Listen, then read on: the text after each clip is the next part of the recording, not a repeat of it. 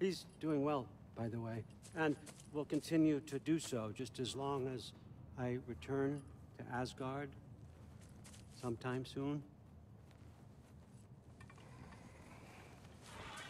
Besides, our friend here has a has a whole lot to live for. Arguable.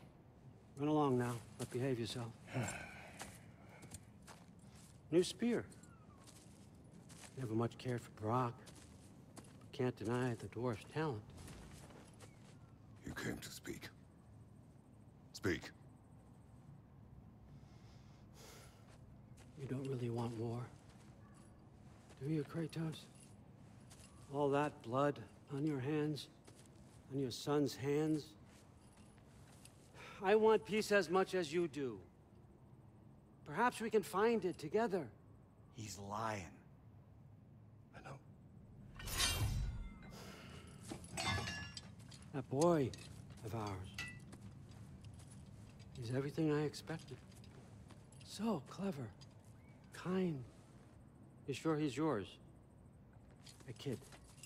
You really ought to be very proud. He is the key to peace in our age, to break free from all this fate and prophecy. My son is not your key. Oh, God, do they not have metaphor in your homeland? Or rather, did they?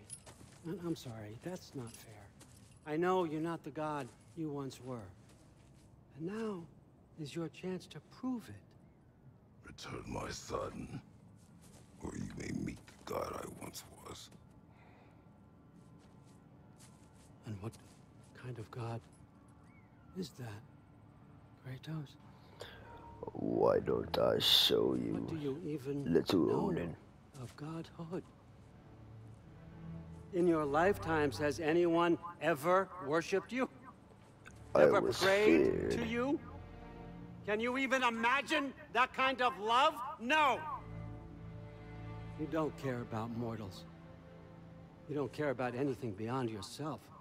Beyond the monster who kills without cause.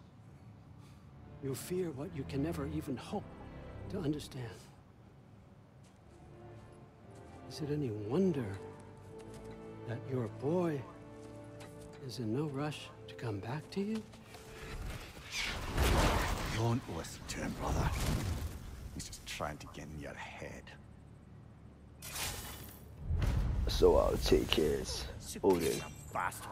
I shall now. Nerve of him Oh my god, here. I'm gonna fuck Odin At least you rattled him as much as he rattled you.